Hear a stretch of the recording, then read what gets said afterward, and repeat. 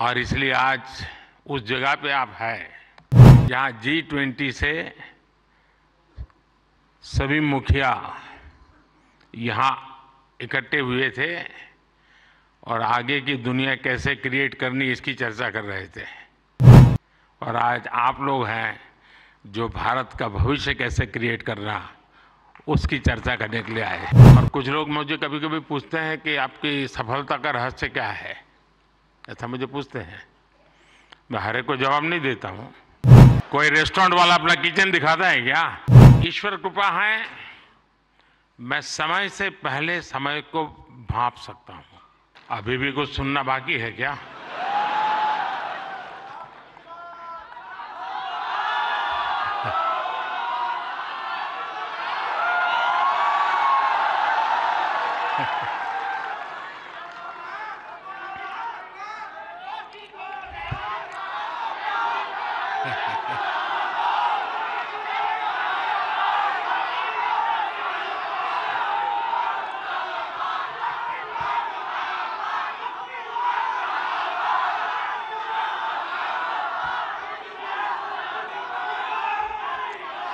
कैसे हैं आप सब लोग? थोड़ी सी वाइब भी तो चेक हो जाए।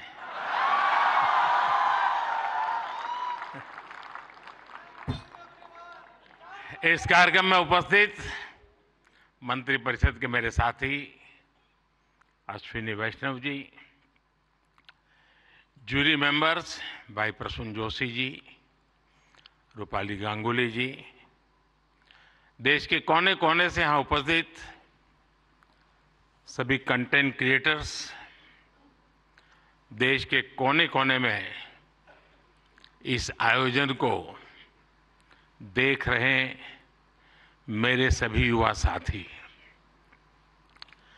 और सभी अन्य महानुभाव। आप सबका स्वागत है।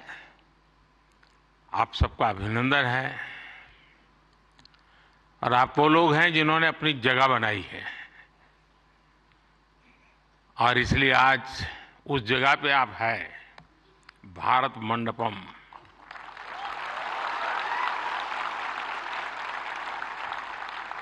और बाहर सिंबल भी क्रिएटिविटी से जुड़ा हुआ है आते ही। और यही जगह है जहाँ जी ट्वेंटी से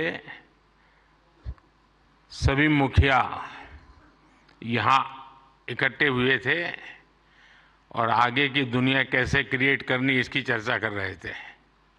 और आज आप लोग हैं जो भारत का भविष्य कैसे क्रिएट करना, उसकी चर्चा करने के लिए आए हैं।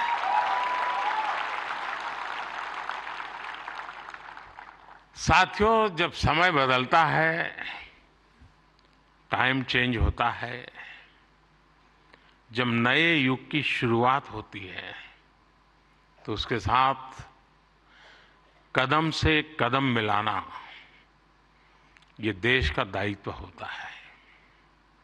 आज भारत मंडपम में देश अपने उस दायित्व को पूरा कर रहा है।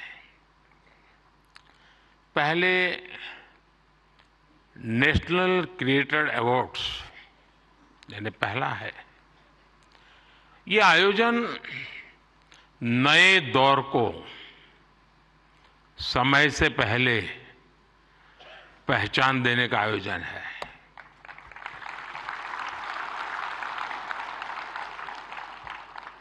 और कुछ लोग मुझे कभी कभी पूछते हैं कि आपकी सफलता का रहस्य क्या है? ऐसा मुझे पूछते हैं।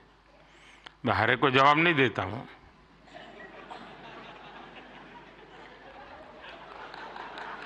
कोई रेस्टोरेंट वाला अपना किचन दिखाता है क्या?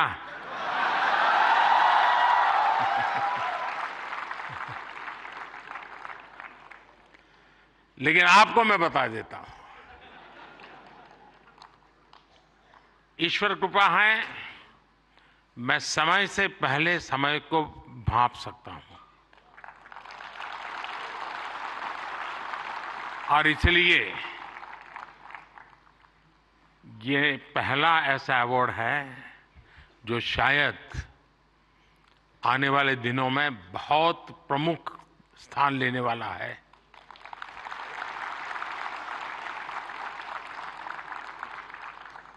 ये इस नए युग को एनर्जाइज कर रहे आप सब युवाओं को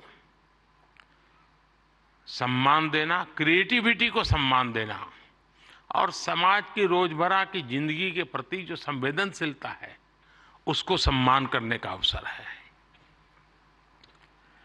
भविष्य में ये अवार्ड कंटेंट क्रिएटर्स के लिए बहुत बड़ा मोटिवेशन बनेगा। उनके काम को एक बहुत बड़ी पहचान मिलने वाली है। आज जिन्हें नेशनल क्रिएटर्स अवार्ड मिले हैं। मैं उन विजेताओं को तो बधाई देता ही देता हूँ, पर जिन्होंने इसमें बढ़ चढ़ करके हिस्सा लिया, क्योंकि बहुत कम समय मिला था, हम ज़्यादा इस चीज़ को पॉपुलर भी नहीं कर पाए थे।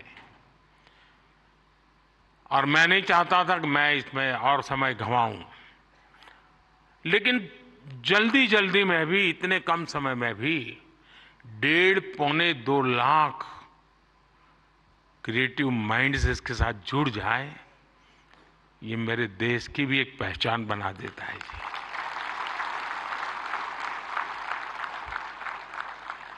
और साथियों, आज एक और पवित्र संयोग है। ये पहला नेशनल क्रिएटर्स अवार्ड महाशिवरात्रि के शुभ दिन पर आयोजित हो रहा है।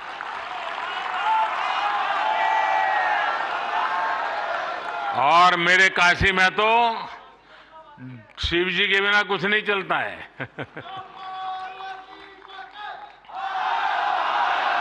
महादेव। भगवान शिव, भाषा, कला और क्रिएटिविटी के जनक माने गए हैं। हमारे शिव नटराज है।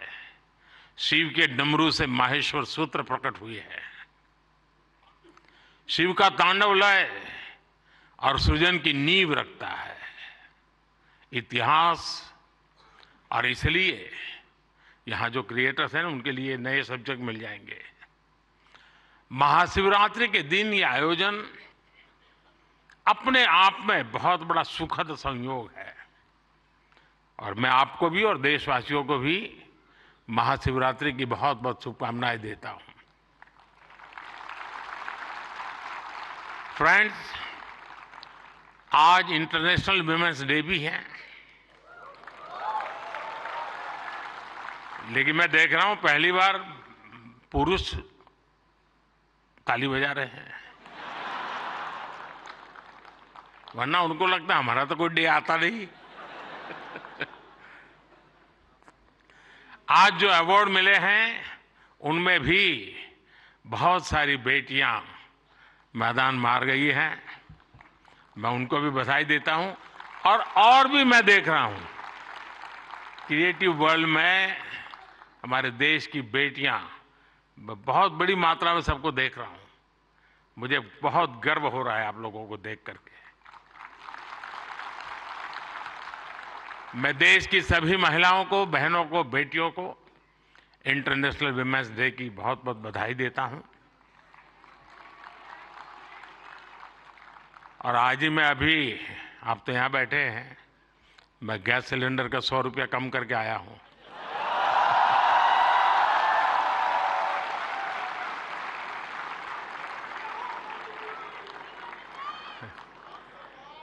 साथियों, किसी भी देश की जर्नी में किसी एक पॉलिसी डिसीज़न या एक अभियान का कैसे मल्टीप्लायर इफ़ेक्ट होता है, ये आप सबको देख करके पता चलता है। दस साल में हुए डेटा रिवॉल्यूशन से लेकर सस्ते मोबाइल फोन्स डिजिटल अभियान इंडिया अभियान ने एक प्रकार से कंटेंट क्रिएटर्स की एक नई दुनिया क्रिएट कर दी है। और पहली बार ऐसा हुआ होगा जब किसी सेक्टर की युवा शक्ति ने सरकार को प्रेरित किया हो, सरकार को मजबूर किया हो कि कब तक बैठे रहोगे, इसको भी सोचो। और इसलिए भी आप बधाई के पात्र हो। आज के इस अवार्ड फ़ंक्शन का क्रेडिट अगर किसी को जाता है तो भारत के मेरे युवा मन को हर डिजिटल कंटेंट क्रिएटर को जाता है। साथियों, भारत का हर कंटेंट क्रिएटर एक और बात को रिप्रेजेंट करता है।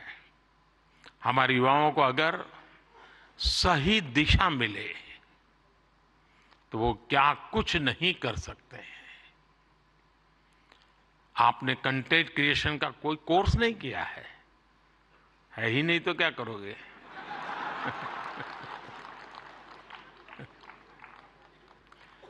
पढ़ाई के टाइम करियर सेलेक्ट करते हुए ये सोचा भी नहीं होगा कि हम कंटेंट क्रिएटर जैसा कुछ बनेंगे।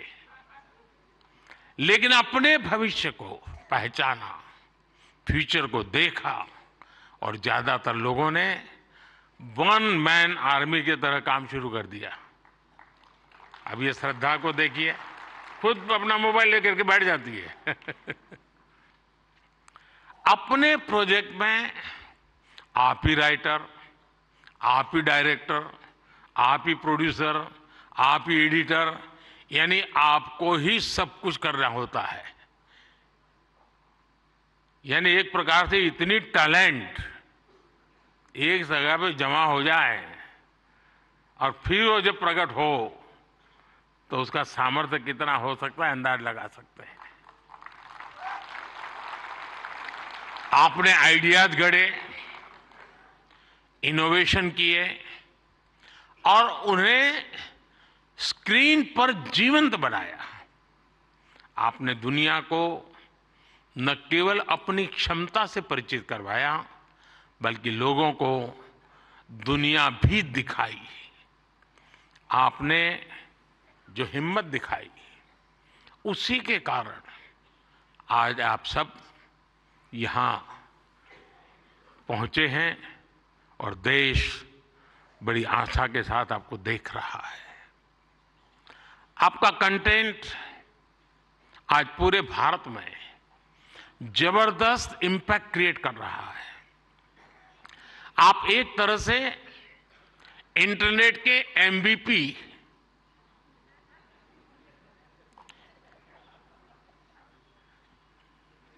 ठीक है ना? थोड़ा दिमाग खपाओ क्रिएटिविटी बताओ अपना। जब मैं आपको एमपीपी कहता हूँ मतलब मोस्ट वैल्यूएबल पर्सन बन गए। साथियों, आप सभी जानते हैं कि जब कंटेंट और क्रिएटिविटी आपस में कोलोबरेट करते हैं तो इससे एंगेजमेंट बढ़ती है। जब कंटेंट डिजिटल से कॉलेब करता है तो ट्रांसफॉर्मेशन आता है। जब कंटेंट पर्पज से कोलैब करता है तो इससे इंपैक्ट दिखता है।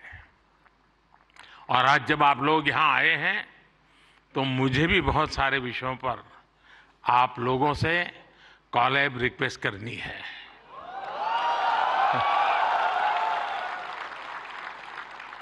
साथियों, एक जमाने में हम छोटी से छोटी दुकानों पर लिखा देखते थे कि यहाँ बहुत टेस्टी फ़ूड मिलता है। ऐसा देखते थे ना? कोई भी कहे, वहाँ क्यों खाना? तो बोले, टेस्टी फ़ूड है। लेकिन आज हम देखते हैं कि दुकान वाले लिखते हैं कि यहाँ हेल्दी फ़ूड मिलता है। अब टेस्टी नहीं लिखता है। हेल्दी फ़ूड मिलता क्यों बदलाव आया? तो ये एक बदलाव समाज में भी आ रहा है। इसलिए कंटेंट ऐसा होना चाहिए जो लोगों में कृतज्ञ भाव जगाए। देश के प्रति आपके जो कर्तव्य हैं, उनके लोगों को प्रेरित करें। और आपके कंटेंट का यही डायरेक्ट मैसेज हो, ये ज़रूरी नहीं है। आप कंटेंट क्रिएट करते हुए इसका ध्यान रखेंगे तो इनडायरेक्टली भी उसमें ज़रूर झलकेगा। आपको ध्यान होगा, लाल किले से मैंने बेटियों के अपमान का विषय उठाया था। एक बार मैंने ये भी कहा था कि आप बेटी शाम को घर आती है तो पूछते हैं, क्यों देर से आई? कहाँ गई थी? क्यों जल्दी घर नहीं आई? मैंने लाल किले से पूछा था कि मुझे कोई तो माँ बाप बताओ जो अपने बेटे को पूछते हो कि तुम देर से क्यों आ रहे हो। कहाँ गए थे? बेटी को सब पूछते हैं। बेटे को कोई नहीं पूछता है। मैं कंटेंट क्रिएटर से कहता हूँ, इस बात को आगे कैसे बढ़ाएँ? एक माहौल कैसे बनाएँ? समान जिम्मेवारी होनी चाहिए। बेटी देर से आए तो भूकंप हो जाए और बेटा देर से आए, बेटा खाना तो खाया था ना। क्यों भाई? कहने का मेरा मतलब है, साथियों, कि हमने समाज के साथ जुड़ना है और इस भावना को घर घर पहुँचाने में आप जैसे साथी बहुत अच्छे ढंग से इसको कर सकते हैं। देखिए, आज महिला दिवस पर आप इस संकल्प को फिर दोहरा सकते हैं। हमारे देश की नारी शक्ति का सामर्थ्य कितना ज़्यादा है, वो भी आपके कंटेंट का हिस्सा, प्रमुख हिस्सा हो सकता है। मैं ज़रूर दावे से कहता हूँ जी, आप में से कोई थोड़ा क्रिएटिव माइंड के साथ, सुबह से रात तक माँ क्या करती है, उसी को थोड़ा रिकॉर्ड करके उसको एडिट करके रखें देखने वाले उस परिवार के बच्चे चौंक जाए कि अच्छा माँ इतना काम करती है। एक साथ करती है। यानी आपके पास एक ताकत है। आप इसको ऐसे प्रस्तुत कर सकते हैं। उसी प्रकार से जैसे गाँव की जो ज़िंदगी है। आपने देखा होगा इकोनॉमिक एक्टिविटी में गाँव की महिलाएँ बहुत बड़ी मात्रा में जुड़ी हुई थी। ये वेस्टर्न लोगों की जो सोच है ना, कि भारत में वर्किंग वुमेन नहीं है, अरे भाई वर्किंग वुमेन छोड़, भारत में महिला है, तभी तो संसार चल पा रहा है जी।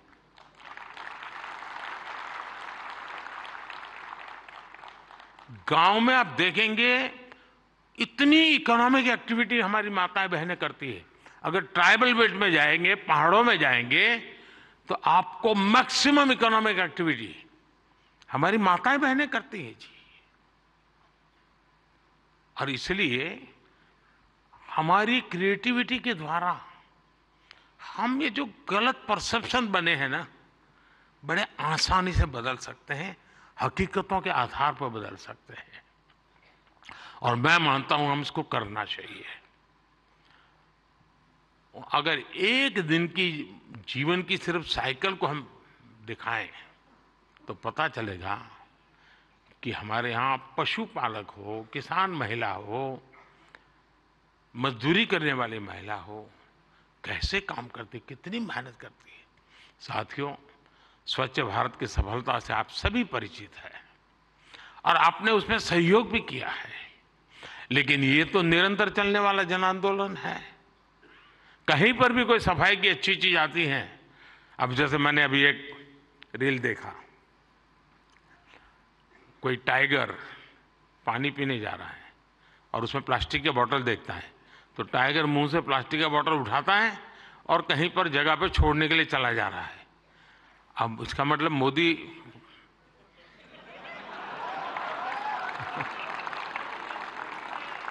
किस किस से बात पहुंचाता है, समझ गया ना?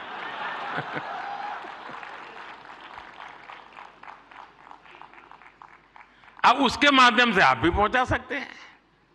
और इसलिए आप इस विषय पर भी लगातार कुछ न कुछ ज़रूर करते रहिए। एक एक, एक अहम विषय भी मैं आपसे स्पर्श करना चाहता हूँ दोस्तों। ये छोटी छोटी चीज़ें जो मेरे मन को छूती है मेरा मन करता है कि क्रिएटिव माइंड के लोग हैं तो शायद मैं मन खोल करके बातें भी कर सकता हूँ। मैं भाषण नहीं कर रहा मुझे। जैसे मेंटल हेल्थ ये बहुत ही छूने वाला विषय जी और वैसे तो डिजिटल प्लेटफॉर्म पर काफ़ी कंटेंट हँसी मज़ाक से जुड़ा होता है, लेकिन कई अन्य गंभीर विषय भी होते हैं। मैं देखता हूँ मेंटल हेल्थ को लेकर। बहुत बधाई हो आपको, बहुत बधाई हो, बहुत बधाई हो, बहुत बधाई हो। मैं नहीं कह रहा हूँ नहीं बनाते हैं।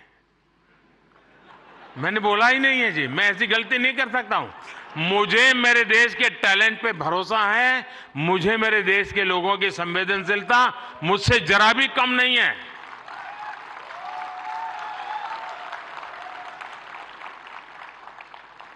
लेकिन ये ऐसे और जो लोग इस प्रकार से सोचते हैं, वो ज़्यादा क्रिएटिव है ऐसा मैं कह सकता हूँ।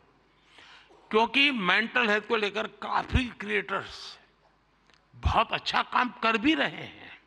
लेकिन अभी हमें इस पर और ज़्यादा काम करने की ज़रूरत है। और हो सके तो लोकल लैंग्वेज, गाँव के अंदर एक परिवार में अगर ऐसा बच्चा है, उनके लिए क्या? हो सकता है बड़े शहर में फाइव स्टार दुनिया में तो होगा, क्योंकि उनकी ज़िंदगी में ये बहुत ज़रूरी है जी। उसी प्रकार से एक बहुत बड़ा महत्वपूर्ण विषय है बच्चों में स्ट्रेस का। हमें पता नहीं होता है। पहले तो हमारा जॉइंट फैमिली होता था। और बच्चे कभी दादी संभाल लेती थी, कभी दादा संभाल लेते थे, कभी नाना कभी नाना, कभी चाचा, चाची, भाभी, भाई। अब माइक्रो फैमिली है। दोनों लोग चले गए हैं। आया के पास बैठा है। पता नहीं उसको स्ट्रेस का क्या स्थिति कुछ पता नहीं है। अब जैसे एग्ज़ाम का समय होता है। स्टूडेंट्स में रिज़ल्ट को लेकर के चिंता बहुत बढ़ जाती है। सांस फूलने लग जाती है। रिज़ल्ट आने पर फ़ोन पर दोस्तों तो कह रहे जैसे रिज़ल्ट अभी आ गया हो। लेकिन धीरे धीरे धीरे पारा गर्म हो जाता है। मैंने कोई आठ, बारह, पंद्रह साल पहले एक छोटी सी फ़िल्म देखी थी। उस जमाने में तो उतना वीडियो वीडियो कोई पॉपुलर नहीं था। लेकिन मेरी ये रुचि है, जानना, समझना, सीखना। और उसमें ये बताया गया था कि कुछ भी गलत निर्णय लेने से पहले बेहतर जीवन जीना ज़्यादा आसान है और कितना जीवन सुंदर बनता है। और उस बच्चे को एग्ज़ाम देनी होती थी। उसको लगता है ये सब मैं नहीं कर पाऊँगा तो आत्महत्या करने के लिए सोचता है। शायद उसके जो क्रिएटर होंगे, उसको याद आ जाएगा, मुझे पूरा याद नहीं, क्योंकि मैंने पंद्रह सोलह साल पहले इसको, भाई बीस साल हो गए होंगे। तो उसको मन करता है कि मैं रस्से से टांग करके जान दे दूँ। तो रस्सा खरीदने जाता है। तो वो उसे पूछता है, कितने फीट चाहिए लंबा? तो वो सोचता है, फीट क्या होता है? तो जाके पढ़ाई करता है यार फीट ऐसे होता है। फिर वो कहता है, उसको वो हुक चाहिए। तो लोहे का चाहिए, कैसा चाहिए? उसकी पढ़ाई का। फिर उसके ध्यान में आता है, यार, मरने से ज़्यादा तो पढ़ना सरल है। बहुत ही अच्छी फ़िल्म बनाई है उसने। हार्डली सात आठ मिनट की होगी। लेकिन जब मैंने उसको देखा और वो, ये जो आत्महत्या करने का मूड बन जाता है बच्चों का, छोटी सी चीज़ है, लेकिन उसके ज़िंदगी को एक नई राह दिखा देती है। अब आप भी जानते हैं, मैं परीक्षा पे चर्चा का कार्यक्रम करता हूँ। आपको लगता, कई लोगों को मज़ाक उड़ेगा गया यार के प्राइम मिनिस्टर है बच्चों के साथ परीक्षा पे चर्चा करता रहता है। फालतू समय का। मैं जानता हूँ दोस्तों मैं कोई सरकारी सर्कुलर नीचे निकाल करके बच्चों की ज़िंदगी नहीं बना सकता। मुझे उनके साथ जुड़ना पड़ेगा। उनको जानना पड़ेगा। जी जान से जुटना पड़ेगा। और उस समय, यानी बारिश के बाद अगर मैं खेत में काम करूँ तो काम का है। परीक्षा के दिनों में उसकी बड़ी ताकत होती है और इसलिए मैं हर साल रेगुलरली ये कार्यक्रम करता हूँ। क्योंकि मेरे मन में यही होता है कि इन बच्चों के साथ में कुछ बातें करूँ, खुल करके बातें करूँ। हो सकता है किसी को एक आध चीज़ काम आ जाए, उनके मन को छू जाए, उनका हाथ पकड़े, उनकी हैंड होल्डिंग करे, उनके माँ बाप को लगे टीचर को लगे। साथियों, ये सारे काम मैं तो रील बनाने के लिए समय नहीं निकाल सकता तो मैं ऐसे काम कर लेता हूँ। लेकिन आप तो वो भी कर सकते हैं जी। क्या हम ऐसा कंटेंट और ज़्यादा बना सकते हैं जो यूथ में ड्रग्स के नेगेटिव इफेक्ट्स को लेकर अवेयरनेस लाए?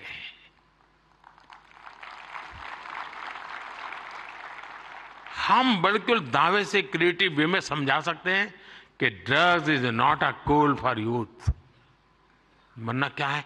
यार कूल हॉस्टल में बैठे हैं। ए कूल साथियों, इसमें बहुत बड़ा और आप लोग हैं, बड़े, क्योंकि आप उनके साथ जुड़ सकते हैं, उनकी भाषा में बात कर सकते हैं। साथियों, अगले कुछ दिनों में लोकसभा के चुनाव होने जा रहे हैं। आप ये मत सोचिए कि आज का ये इवेंट इसके लिए है।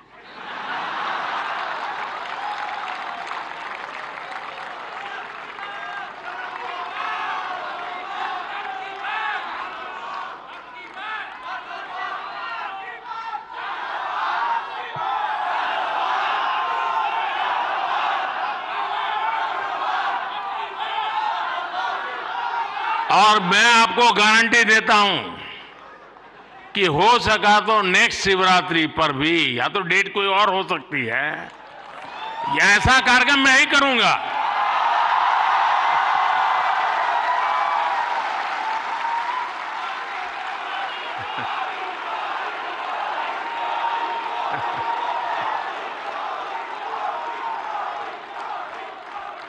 लेकिन मैं मैं लोकसभा चुनाव का विषय उस अर्थ में नहीं लाया हूँ, क्योंकि मुझे भरोसा है मुझसे ज़्यादा मेरे लिए आप मरते हैं।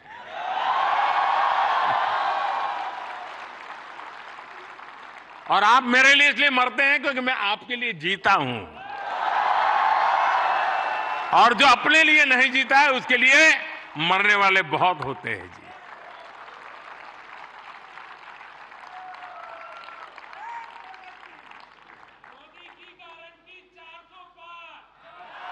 वो मोदी की गारंटी नहीं है 140 करोड़ देशवासियों की गारंटी है।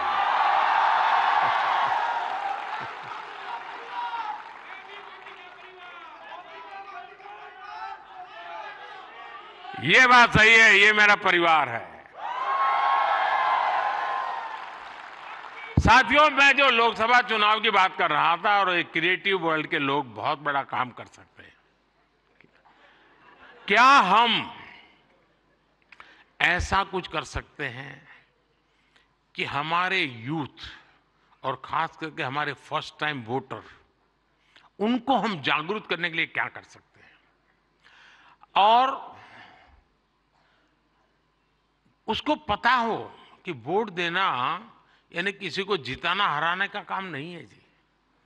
वोट देने का मतलब है तुम इतने बड़े देश की निर्णय प्रक्रिया के हिस्सेदार बने हो।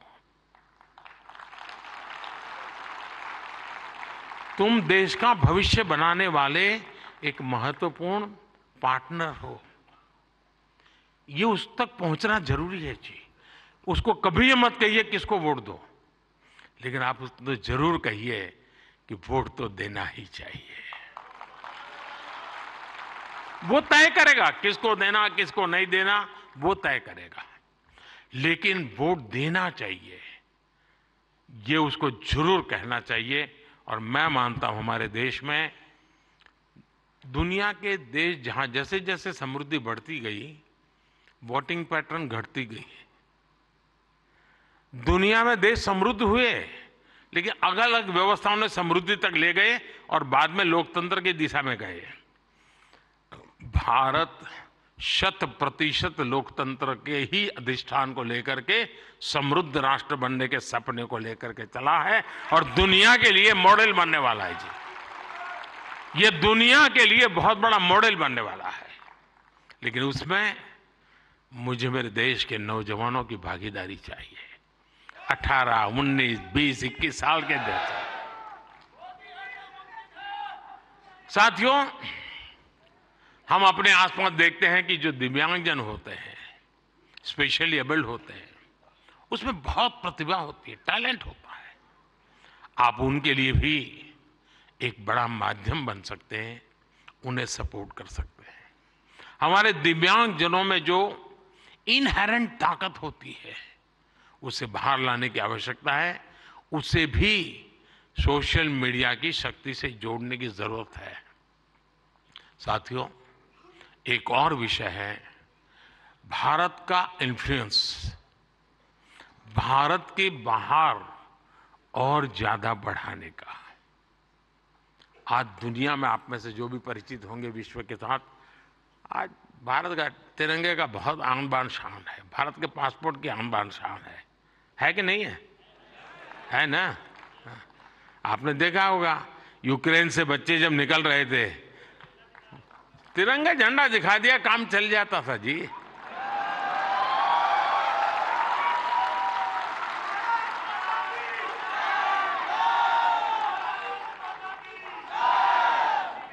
ये सामर्थ्य ऐसे ही नहीं आया है दोस्तों, ये सामर्थ्य ऐसा ही नहीं आया है।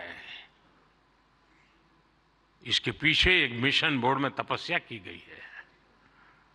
दुनिया में आज वातावरण बदला है, लेकिन उसको और अधिक आज भी दुनिया में कुछ परसेप्शन ऐसे ही है हमारे लिए। हम उसको बदल सकते हैं क्या?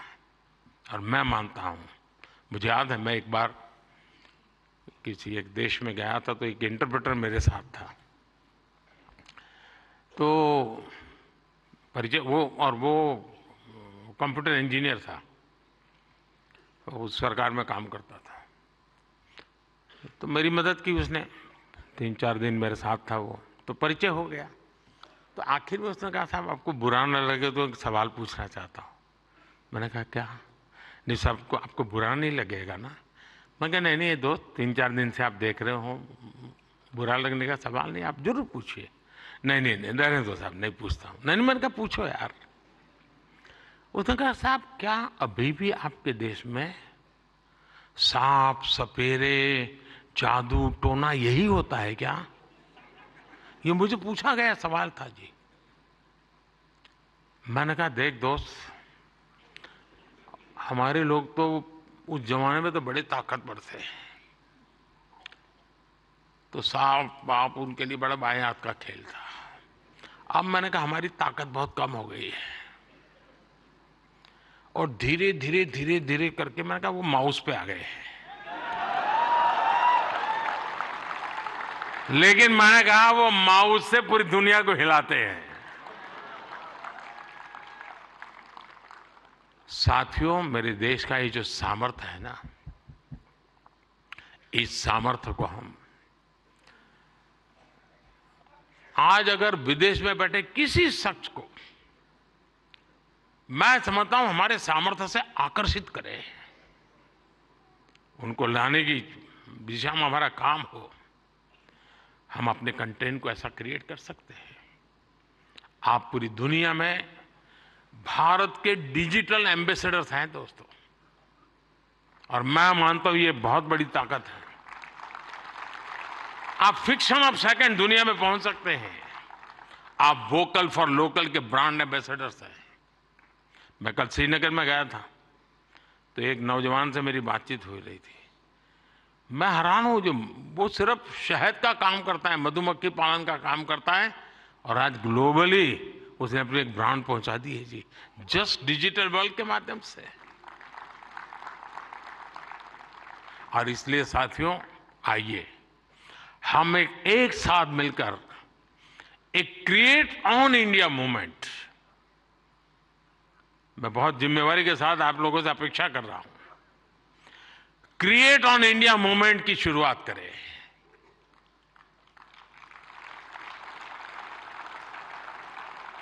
हम भारत से जुड़ी स्टोरीज को, भारत की संस्कृति को, भारत के हेरिटेज और ट्रेडिशंस को पूरी दुनिया से शेयर करें। हम भारत की अपनी स्टोरी सबको सुनाए। Let's create on India I create for the world आप ऐसा कंटेंट क्रिएट करिए जो आपके साथ ही आपके देश, हम सबका देश, भारत को भी ज़्यादा से ज़्यादा लाइक्स दे। और इसके लिए हमें ग्लोबल ऑडियंस को भी एंगेज करना होगा। दुनिया की यूनिवर्सिटीज के साथ, दुनिया के नौजवानों के साथ जुड़ना होगा। आज पूरी दुनिया में लोग भारत के बारे में जानना चाहते हैं। आप में से कई लोग विदेशी भाषा को जानते हैं नहीं जानते होंगे तो, तो एआई की मदद से काम हो सकता है।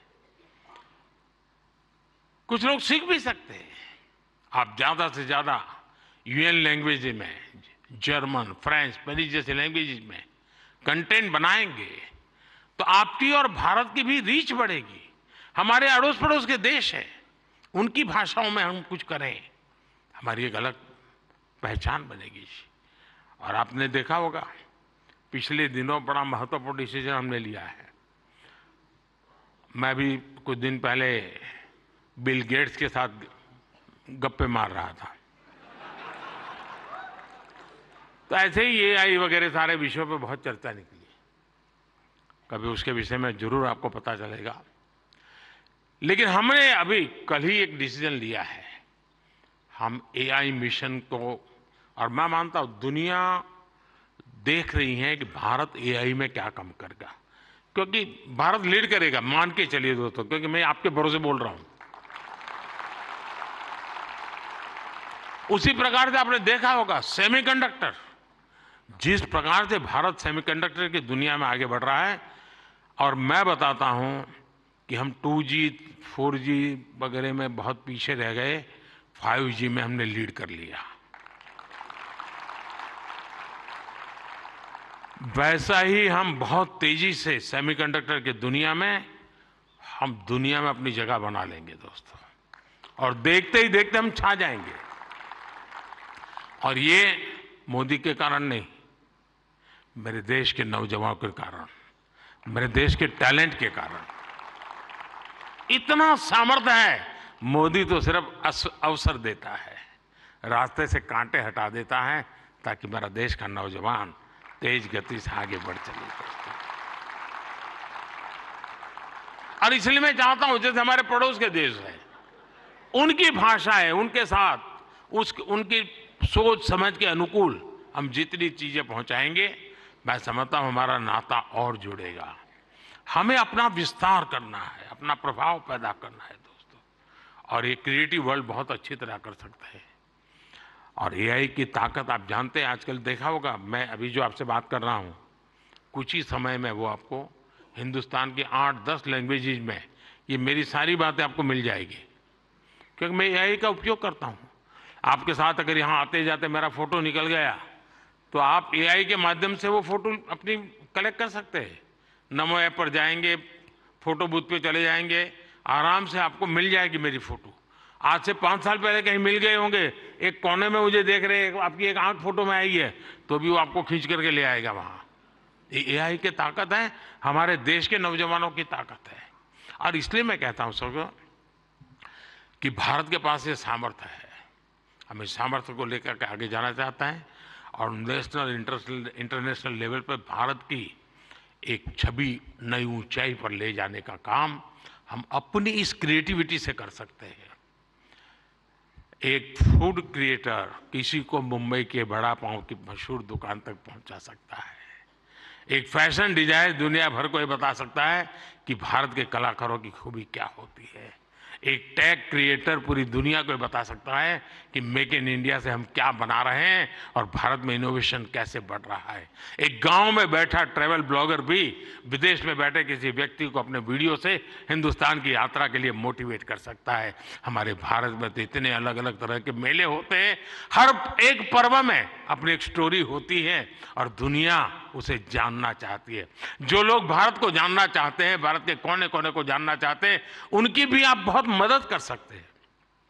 साथियों, इन सारे प्रयासों में आपकी स्टाइल, आपका प्रेजेंटेशन, आपका प्रोडक्ट, आपके फैक्ट्स, अगर मैं मानता तो हकीकतों विषय में कॉम्प्रोमाइज कभी मत कीजिए।